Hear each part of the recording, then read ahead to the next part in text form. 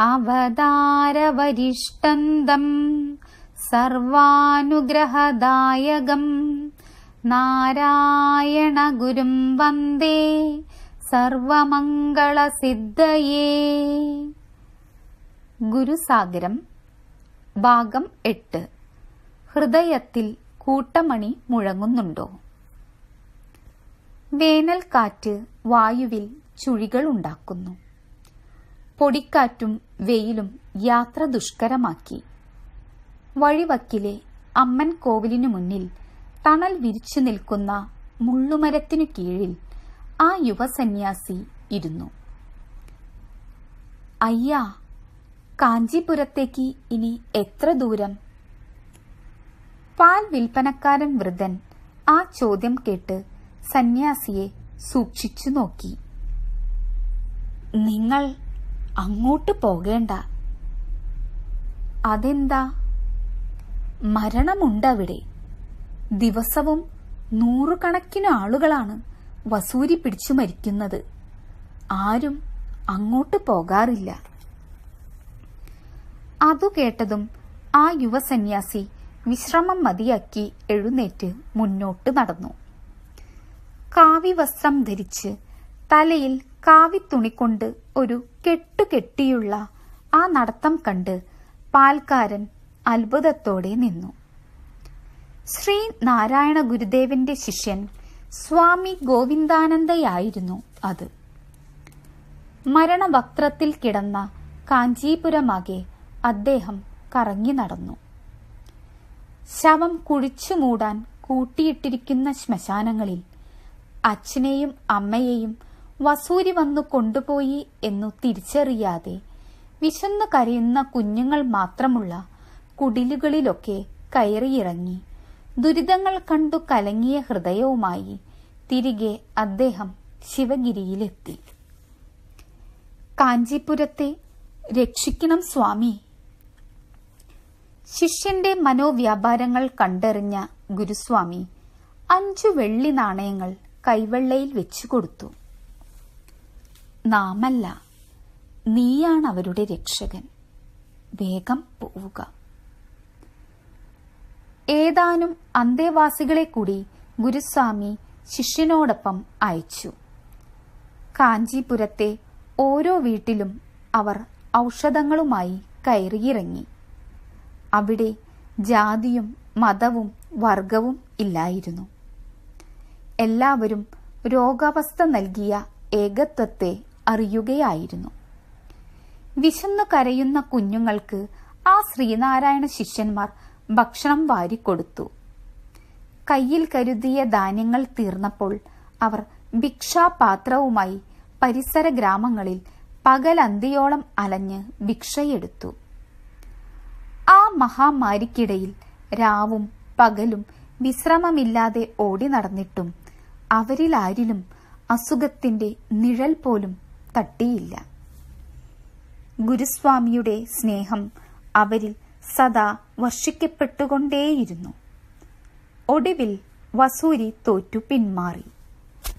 ഭരണകൂടവും പരിസര ഗ്രാമങ്ങളും ഉപേക്ഷിച്ച തങ്ങളെ ജീവൻ പണയം വെച്ച് രക്ഷിച്ച ഗോവിന്ദാനന്ദ സ്വാമിയെ ഗ്രാമീണർ ആൾവാർ എന്നു വിളിച്ചു. കാഴ്ചവസ്തുക്കളും ചുമന്ന് ഗ്രാമവാസികൾ സ്വാമി മഠത്തിനു മുന്നിലെത്തി. സ്വാമി ഗോവിന്ദാനനെ അവർ ആൾവാർ വാഴ്കൈ എന്നു വിളിച്ചു തൊഴുതു. ചെറുപുഞ്ചിരിയോടെ സ്വാമി മഠത്തിനുള്ളിലേക്ക് വിരൽ ചൂണ്ടി. അവിടെ ഏഴു തിരിയിട്ട വിളക്കിനു മുന്നിൽ ശ്രീനാരായണഗുരു സ്വാമിയുടെ ചിത്രം മിഴിവാർന്ന് തിളങ്ങുന്നുണ്ടായിരുന്നു. ഞാനല്ല ആൾവാർ എന്റെ ഗുരുസ്വാമിയാണ്. ഈ യുഗത്തിൽ മനുഷ്യരൂപത്തിൽ കാണാൻ സാധിക്കുന്ന നമ്മുടെ ദൈവമാണ് സ്വാമി. അവിടെന്ന് പറഞ്ഞിട്ടാണ് ഞാൻ ഇവിടെ വന്നത്. അതു കേട്ട് അവർ വികാരനിർഭരമായി ഗുരുസ്വാമിക്കും ജയ് വിളിച്ചു. ആൾവാരുക്കും ആൾവാർ വാഴുകയേ. ഇനി നമുക്കു ശ്രീ സജീവ് കൃഷ്ണൻ സാറിന്റെ അവലോകനത്തിലേക്കു കടക്കാം. ഗോവിന്ദാനന്ദ സ്വാമിയുടെ ജീവിതകഥയിലെ ഈ ഏട് നമ്മോട് പറയുന്നത് ഭൂമിയിൽ ദൈവത്തിന്റെ യഥാർത്ഥത്തിലുള്ള ഇടപെടൽ എങ്ങനെ നടക്കുന്നു എന്നാണ്. അത് ബോധ്യമാകാൻ അക്ഷരങ്ങൾക്കപ്പുറത്തേക്ക് വാക്കിന്റെ പൊരുൾ എണ്ണി എണ്ണി സഞ്ചരിക്കണം.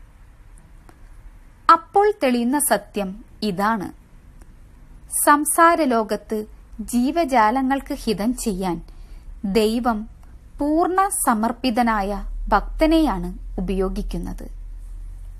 അവന്റെ നിഷ്കാമ കർമ്മത്തിലൂടെ ലോകം ദൈവത്തിന്റെ മഹിമ തിരിച്ചറിയും. ഭക്തൻ നിഷ്കാമിയായി ധർമ്മം നിർവഹിക്കുമ്പോൾ സൃഷ്ടിയും സ്രഷ്ടാവും സൃഷ്ടിജാലവുമായ ദൈവത്തിന്റെ സാന്നിധ്യം എല്ലായിടത്തും പ്രകടമാകുന്നു. സ്വന്തം ജീവിത നിയോഗം എന്തെന്ന് അറിയുന്നവന്റെ നിസ്വാർത്ഥമായ കർമ്മം പരിധികളില്ലാത്ത ദൈവസ്നേഹത്തിന്റെ പ്രതീകമാണ്. ശ്രീകൃഷ്ണനെ ഭജിക്കുന്നവൻ കൃഷ്ണൻ അരുളിയ നിഷ്കാമകർമ്മത്തിൽ അധിഷ്ഠിതനാകുമ്പോൾ ശ്രീകൃഷ്ണ പരമാത്മാവിന്റെ മഹത്വം അവനിലും സഹജീവികളിലും നിറയുന്നു. ക്രിസ്തുവിനെ വിശ്വസിക്കുന്നയാൾ അവിടത്തെ പരിധിയില്ലാത്ത സ്നേഹത്തെ കർമ്മം കൊണ്ട് പ്രസരിപ്പിക്കുമ്പോൾ ലോകം ക്രിസ്തുവിന്റെ സാന്നിധ്യം അറിയുന്നു. നബിയുടെ കാരുണ്യവും വിശ്വസാഹോദര്യത്തിലൂന്നിയ സഹനവും ഇസ്ലാം വിശ്വാസിയിൽ നിന്ന് സഹജീവികളിലേക്ക് പ്രവഹിക്കുമ്പോൾ ആയിരം സമുദ്രജലം മഷിയാക്കി എഴുതിയാൽ പോലും തീരാത്ത നിരാകാരനായ അല്ലാഹുവിന്റെ മഹത്വം ഭൂമിയിൽ അനുഭവവേദ്യമാകും. ദൈവാരാധനയിലൂടെ ഉള്ളിൽ അനുകമ്പയെ വളർത്തുകയും കരുണയും സ്നേഹവും കർമ്മമാർഗത്തിൽ പ്രതിഫലിപ്പിക്കുകയും ചെയ്യുന്ന അഹിംസാധർമ്മിയായി ശ്രീനാരായണ ഗുരുഭക്തർ മാറുമ്പോൾ അറിവാണ് ദൈവം എന്ന അഖണ്ഡ ബോധത്തിലേക്ക് ലോകർ നയിക്കപ്പെടും. വിവിധ നാമരൂപങ്ങളിൽ വിവിധ ആരാധനാ രീതികളിലൂടെ നാം പ്രാർത്ഥിക്കുന്ന ദൈവം ഒരേ സത്യമാണെന്ന് ലോകം തിരിച്ചറിയും. അവിടെ മഹത്വപ്പെടുന്നത് ഗുരുവിന്റെ സത്യസ്വരൂപമായിരിക്കും. ഒരിക്കൽ ഒരു സന്യാസി ഭക്തരോട് പറഞ്ഞു ദൈവമഹത്വം സദാ ഓർമ്മിക്കുവാൻ ഹൃദയത്തിൽ ഒരു മണി കെട്ടിത്തൂക്കുന്നത് നന്നായിരിക്കും. ദൈവത്തിനു നിരക്കാത്ത കർമ്മം ചെയ്യുമ്പോൾ ആ മണി ഉള്ളിൽ മുഴങ്ങട്ടെ. ശേഷം ഭാഗം തുടരും.